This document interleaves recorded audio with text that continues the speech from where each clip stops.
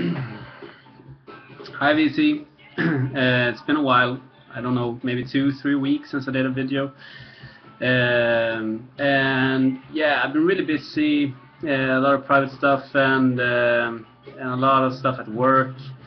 But most of all, it's like I just haven't had an interest in vinyl recently. Um, and that's that's a shame. Uh, but you know, stuff comes and goes, and and I'm you know I'm pretty pretty uh, confident that I'll get the the, the mood mood back. Fuck, my eye is red there. Um, I've been home for a week, no, five days I think, with the flu, and this is my last day at home, and I'm going to work tomorrow. I feel better about it. I'm very low on en energy. Uh, and I haven't been able to play anything even when I was, I was sick. So the stuff that I'm going to show you is stuff that I, I played before this, and this is like records on a two-week period, three-week period, and it's not much. So uh, I just I found out that the Stones are coming to Sweden this summer, and they are releasing the tickets I think tomorrow or the 28th or something like that. And I'm gonna try to get myself a ticket.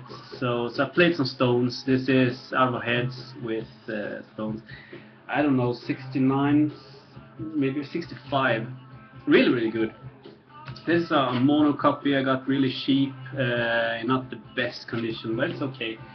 Really, really good. Mercy, Mercy, uh, Last Time, Good Times, I'm alright. Can't get no satisfaction, obviously. Cry to Me, play, play with Fire really good. And I also play the Beggars Banquet.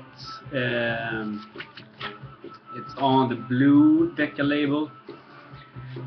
Um, yeah, and this is a classic, obviously. A lot of people have that. And playing in the background just to be on the subject is Sticky Fingers. Uh, and both Beggars Banquet and Sticky Fingers are just classics. Should be in everyone's uh, uh, collection if you enjoy like um, rock, rock, rock, British 60s and 70s rock and roll music.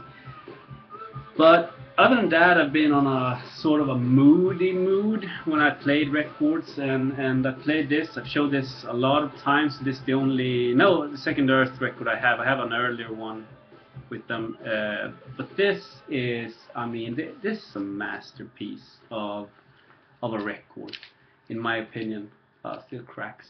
Um, it is. It's a masterpiece. It's almost a 10, in my opinion. Just so moody, really, really good drone music, uh, and yeah, just a fantastic record. I'm going to show you another one that I've shown many times, but um, I, and I found out that Opeth is, is uh, I think, finished with the recording of the new album, and they are working with the artwork. I haven't named the record yet, uh, but I think it's going to be out this summer in in the middle of the summer. So I I I put out two uh, Opeth records to play. This is My Your Hearse, and also took out this uh, Morning Rise. I'm not so familiar with these early records, that's why I, I, want to play them, but they're good. It's not my favorite. I mean, I think with Opeth they really progress and and both the playing, the writing, and the, compositions of the songs are just so much better now than they were back then. Um, so I'm really, really um, stoked with finding out how the new record is going to be because after Her Heritage, the latest one, that was a lot more folkier, progressive, uh, not as death metal uh, oriented as their late later ones. This is going to be a little bit heavier, but then again, I think that he's going to be keep, keeping that prog uh, vibe to it. And I even read somewhere that one song is a little bit fusiony, so, but I may be mistaken. also uh, pulled out Pugh's Yada Ade, and this one I come come to uh, play very often. It's one of my favorites. Um, it's hard to describe, but it's Swedish rock in Swedish, uh, and the pioneer in, of that. A lot of the 60s bands sang in, in English just to get some breaks outside of this Swedish uh, border. But in in Pugh's case, he didn't, you know, that didn't matter that much. They put out this in, in English, I think, like a promotion thing. But but um, yeah, he, really had his his own way of singing and his own way of playing and writing music. And with Jojje Wadenius and Janne Loffe Carlsson uh, backing him up, just three-piece band. It's just a fantastic, classic Swedish uh, record.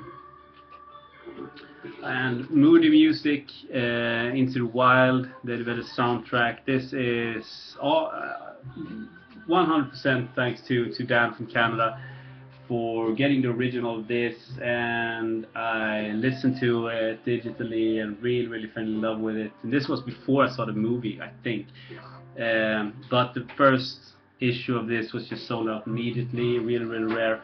And Music on just put out there in better um, in a better like format or better uh, press than the first one with the book much bigger and and sounding better I think. So so um, uh, that's that's kind of cool, but a fantastic uh, soundtrack.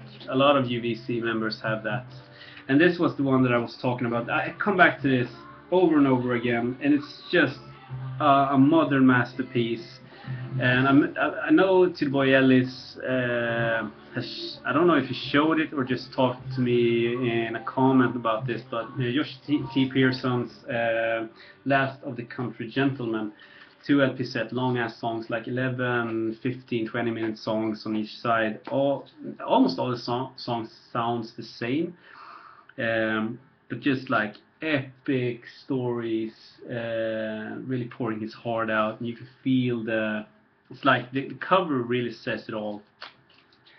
Uh, modern masterpiece. I bet you in 25, 30, 40 years from now, that's gonna be sought after and played as shit. I don't know if he's had anything more out, or I have no idea about him. I'm, I haven't done any research, so so uh, but I should look it up because if he released anything else, I'm gonna be there.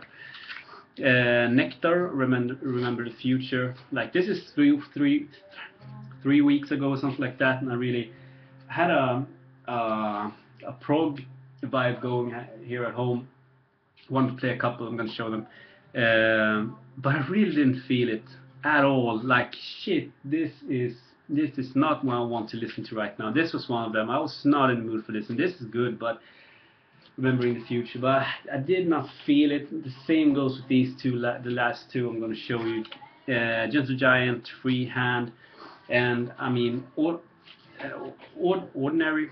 Uh, like every other day, I love this record, but I was not in the mood for, for Gentle Giant. And this was okay, but the next one I had to turn off. I, I couldn't stand it. Um, Gentle Giant by Gentle Giant, I think it's called just Gentle Giant. I know there's some confusion because Three Friends was also put out in, in kind of this cover, but this is the first one by them. Um, it's on the spaceship label, not the the. Uh, and and I mean this this is uh, on, on a good progressive day. This is a little better than mediocre. Uh, Freehand is much better. and Octopus is is a masterpiece, but this is just okay, a little bit better than okay. But but if you're not in the mood for it, this just this sucks. And that was kind of that day, so I just turned it off, played something else. Uh, but I guess that's it. I think I have like I went to a record fair in my town, and they um, that there were more more sellers than uh, ordinary uh, this time, but the prices were were much higher uh, than last year, and the they didn't, didn't have that much that I wanted, so I ended up buying four records, and one is uh, almost like a little bit of a grail for me in Swedish prog, um, and yeah, the, the three pieces were okay. Two that I really wanted, and, and one that I just took a chance on. So, but but I just have those and one more. So I'm gonna save them till I bought or collected uh, at least ten that I can show you in a recent vinyl find. So I mean, this this is it for this time. Uh, from me. I just want to say hi and and show you that I'm uh, around. But um, yeah, I'm not I'm not I'm not in the in the you know the vinyl vibe right now. Uh, but I'm certain that I'm gonna go get back to it. Uh, it's just a matter of time and, and sorting some stuff up and and getting some time just to sit and, and listen. I haven't had that, so um, uh, but but I'm still watching videos in the mornings and when I'm in, in my car to work and I comment uh, when I can. Uh, so I'm still, you know, I'm still here, uh, but but I'm not doing as much videos as I used to, I guess. Have a great day, everyone, and yeah, talk to you soon. Bye.